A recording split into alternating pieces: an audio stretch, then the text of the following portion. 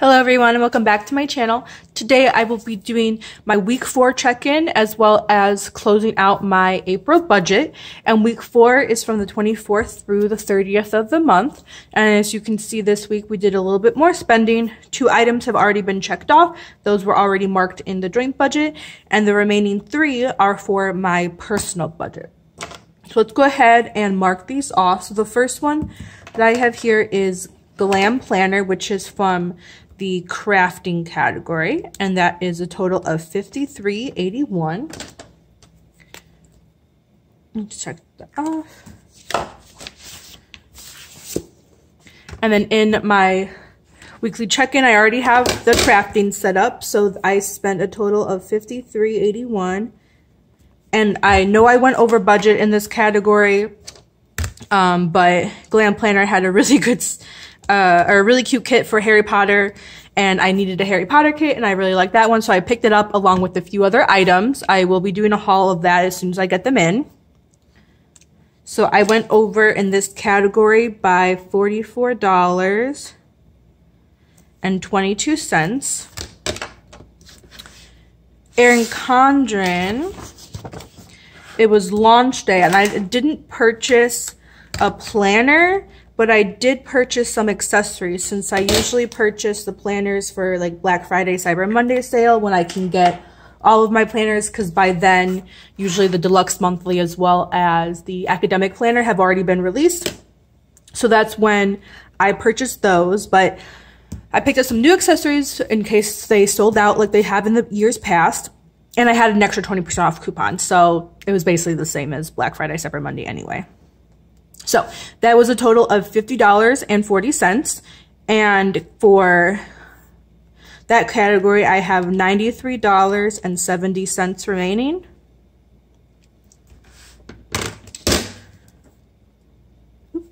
So I spent $50.40 and I have 43.37 remaining.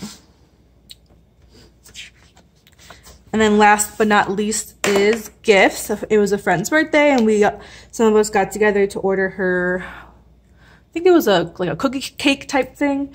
And that was $10. And in gifts, let's see. I have 78.91. I have 83.91 in gifts, so now I have 73.91 remaining. Okay, and then let's see. Okay, so that is all for my weekly check-in. So now I'm going to, oh, actually, before I finish the weekly check-in, I'm actually going to do the joint weekly check-in.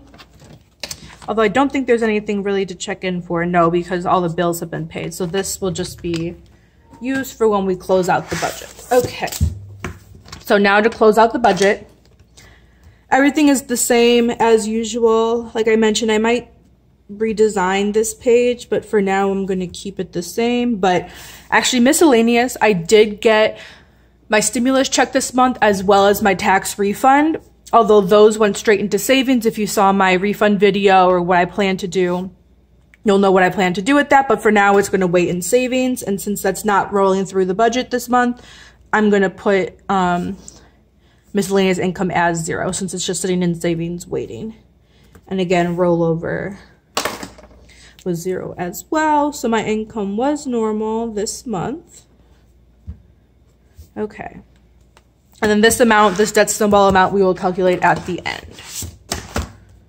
So. Okay, so variable expenses.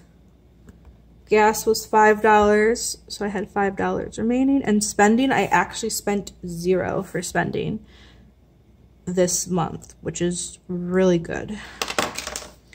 So variable, I actually spent $15. So that means I have 105. So, so far I have an extra $105. So debt, we will look at this at the end when we have the overall numbers.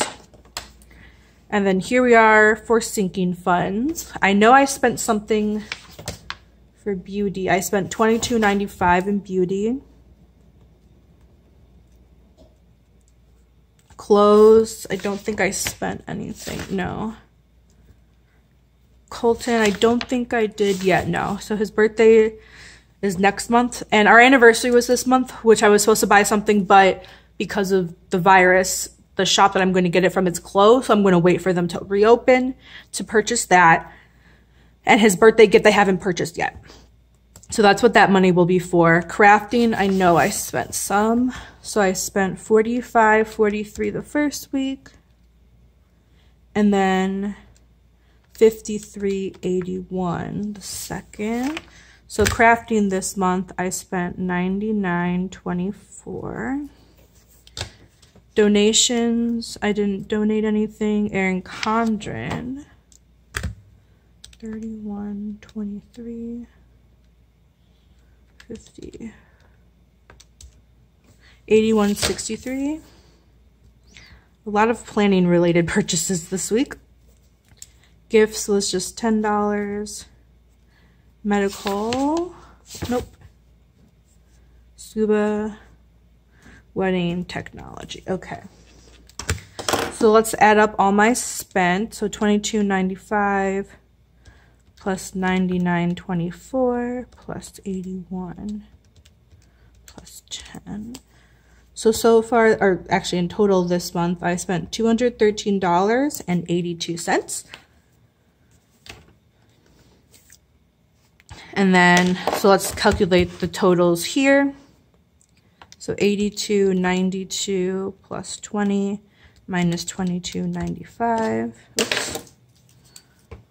So beauty, I should have 79, 97 remaining. Yep. Clothes, I should have 143.29. Colton, 111.21. Crafting, I was over by 44.22.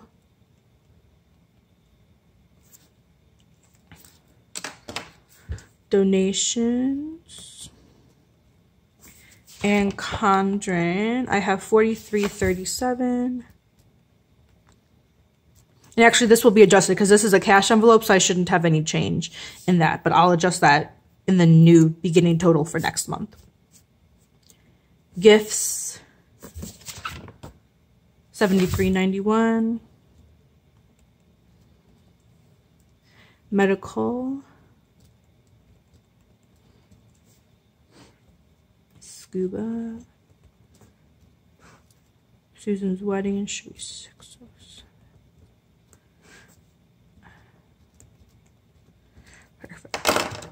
So all this comes to 1878 plus 520 minus 213.82. So that leaves me with $2,185.11. And then as usual, I'm just going to add up the cents to see.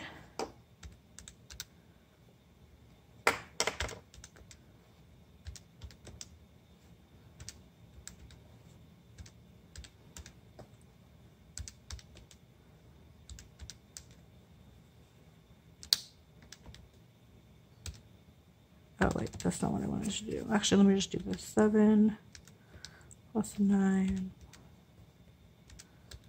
2.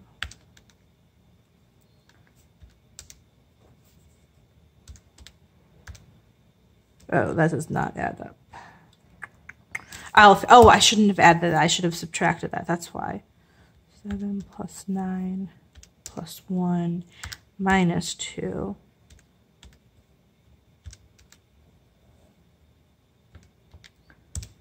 It ends in one. Okay, perfect. I'll do this math, to make sure it's actually right later. But for now, this gets it filled in at the end to see how much I have left over. Okay, so individual budget has been closed out. Let's close out the joint. Just twist that so I have room. So date night we had $3.34 remaining. Which means we spent $96.66. Did I do that math right? Yes. And then groceries, we were over by 45.71.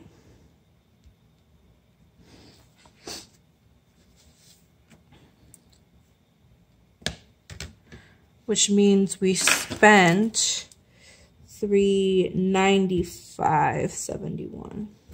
Okay. So in total, 96.66 plus 395.71. We spent 492.37, which means we were over by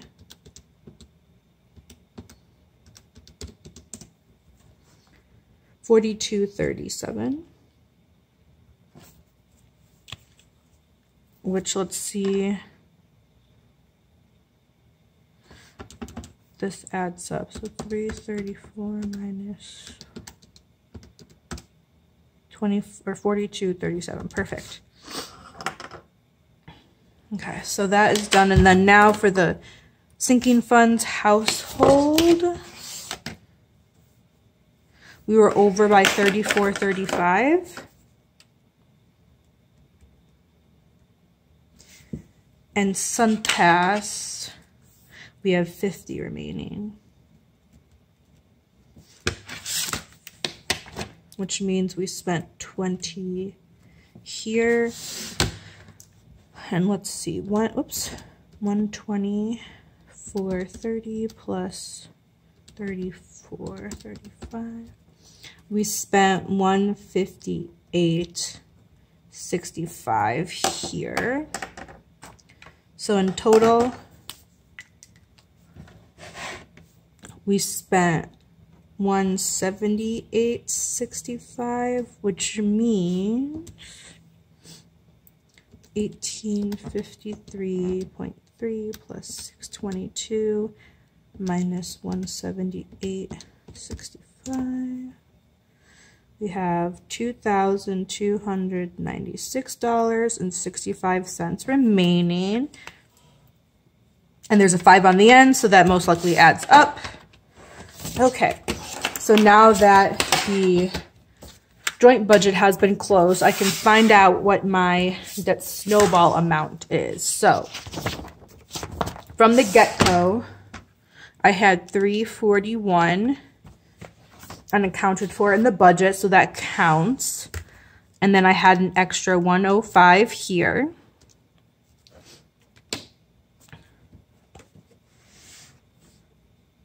And then I went over by $44, so minus 44.22. Okay, and then so as of now, I have $64 remaining, but now I have to count for the joint over budget. So, so let me write this down. Actually, me get a post-it posted now. Just going to use this sheet here. So I have 64.19 remaining. And then what we went over in the joint, I'm responsible for half of that. So 42.37 plus 34.35 is the total that we, so in our joint budget, we went over by a total of $76. So divide that by two is 38.36.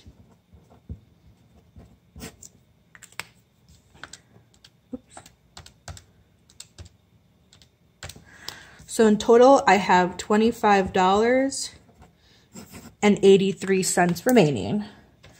So,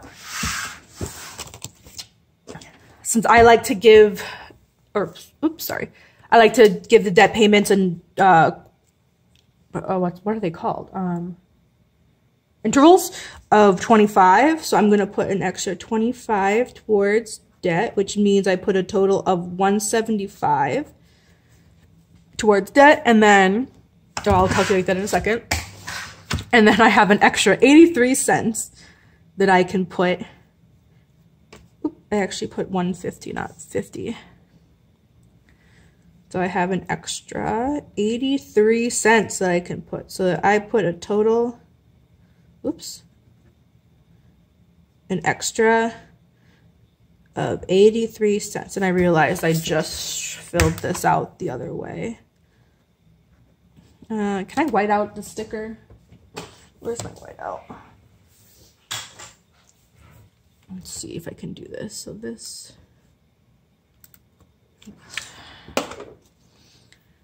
So I actually paid 150, which means I gave an extra 25.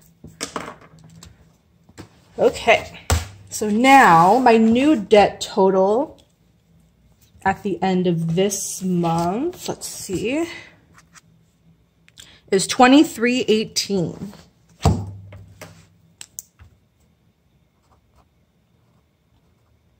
Oops. So we're getting down to the bottom there. And then for Susan and Brandon's wedding, since I gave an extra 83 cents, I have this total plus 83 cents. So 607.58 plus 83 cents. So now I have $608 and 41 cents saved up for that. So even if I was only to put 83 cents towards that, 83 cents is 83 cents. So I'm really happy about that. So the total that I was able to put towards that snowball was 25.83. So I was able to put an additional 22.42 towards my savings which is really exciting. So that was all for my April budget. Let me know how you guys did in the month of April as well. Don't forget to hit that like and subscribe button and I'll see you next time. Thanks for watching and have a good day. Bye-bye.